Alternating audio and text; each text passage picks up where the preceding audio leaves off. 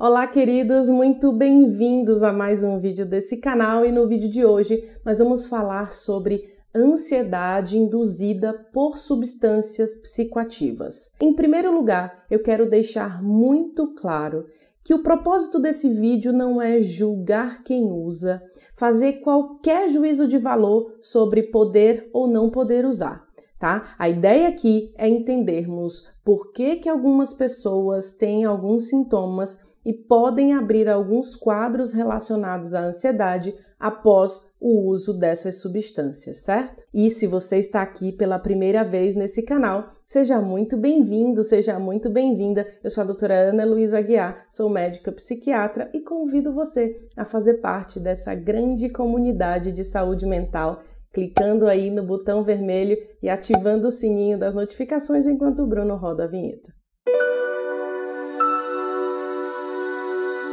Bom, nós psiquiatras atendemos com muita frequência pacientes com quadros induzidos por substâncias. Ansiedade e piora de quadros de ansiedade são quadros muito comuns no consultório nos atendimentos após o uso de substâncias psicoativas.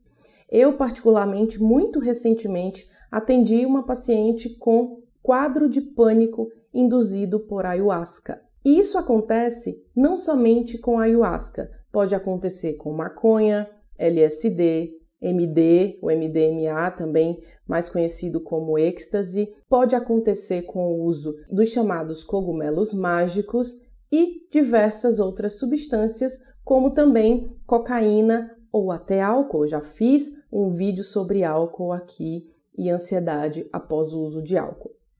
Quero que você entenda que algumas pessoas utilizam essas substâncias e se sentem mais calmas, como por exemplo a maconha. E é fácil de compreender porque o início do uso ele realmente faz uma inibição cerebral. Com essa inibição e redução do estímulo, a pessoa de fato se sente mais calma. Mas existem mecanismos cerebrais com o uso delas, e aí eu vou incluir todas que eu já citei e alguns outros derivados de anfetamina que também temos, incluindo medicamentos como Ritalina, por exemplo, que a pessoa pode ter piora de sintomas ansiosos ou apresentar sintomas ansiosos após o uso.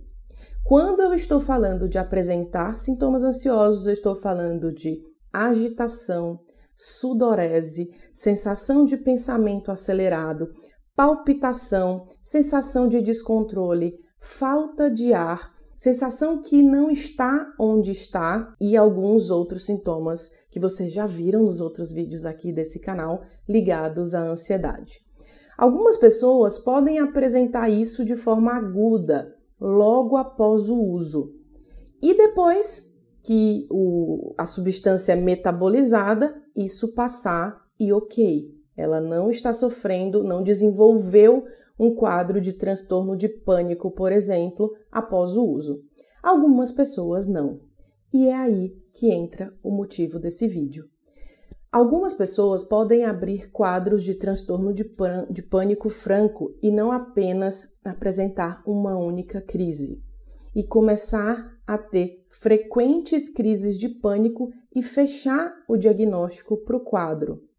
Isso acontece porque há uma desregulação no mecanismo de estímulo cerebral, incluindo os nossos circuitos de dopamina, o nosso neurotransmissor que, quando tudo bem ajustado, gera motivação, ânimo, vontade de fazer as coisas, inclusive é através desse mecanismo da dopamina que a gente faz também a prescrição de dopaminérgicos, sejam eles naturais, sejam eles não naturais tá? Mas a desregulação desse circuito gera toda essa aceleração e, portanto, é possível que a pessoa abra um quadro de pânico. Também é possível que abra quadros, como também já atendi, de desrealização e despersonalização, mesmo que não tenha desenvolvido transtorno de pânico. A gente já sabe hoje que as pessoas podem ter os sintomas de desrealização e despersonalização, que muitos chamam na sigla de DP e DR, né? Após o uso dessas substâncias. E o que é isso? Eu já fiz um vídeo aqui sobre despersonalização e desrealização, vou deixar aqui no card para vocês assistirem. Quem não viu, já faz um tempo esse vídeo, mas de forma resumida, a despersonalização é a sensação de que você não é você. De você olhar no espelho e não reconhecer a imagem, a sensação de não reconhecimento de si mesmo. E a desrealização é a sensação de que você não está onde está, uma sensação de estranhamento do ambiente, que é muito comum no uso da, de substâncias psicoativas ali de forma provisória, inclusive faz parte do próprio, da própria sensação que quem usa quer ter. Mas a pessoa não quer ficar assim. Então, a desrealização, de forma exemplificada, é como se ela permanecesse assim e aí ela se sente distanciada da realidade, mesmo tendo consciência de que ela está naquela realidade. E por que que isso é perturbador? Porque a pessoa começa a questionar se o que ela está pensando é real, se verdadeiramente aquilo está acontecendo. E isso é muito incômodo, e não só incômodo, como, como a palavra que eu já usei antes, perturbador. E aí a gente precisa atuar nesses casos.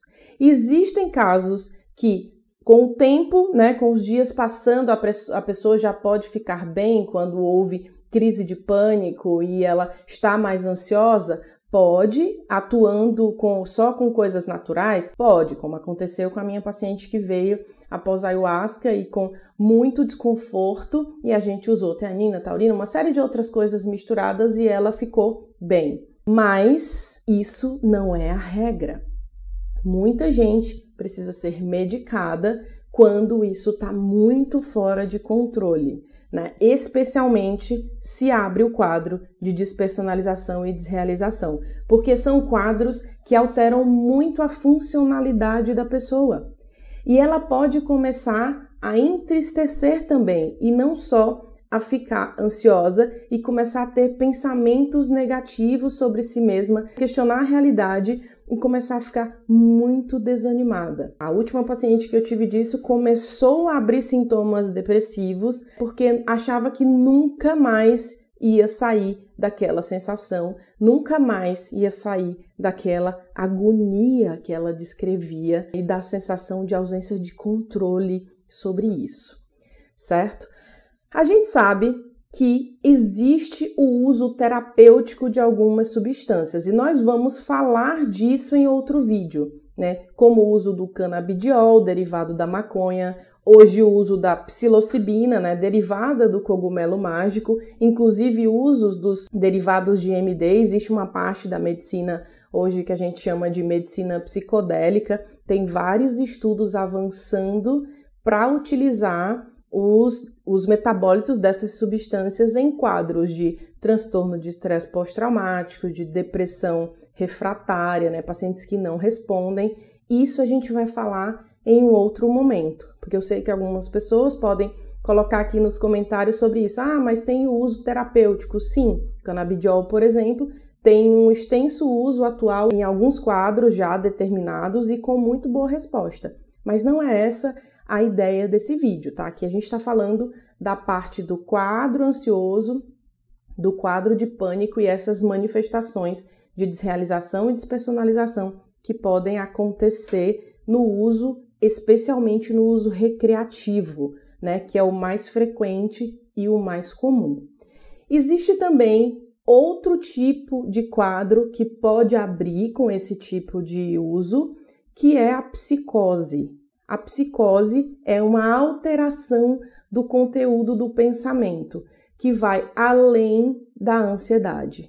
Apesar desse vídeo ser sobre ansiedade, eu acho importante esclarecer sobre isso, que a psicose não é a desrealização e da despersonalização.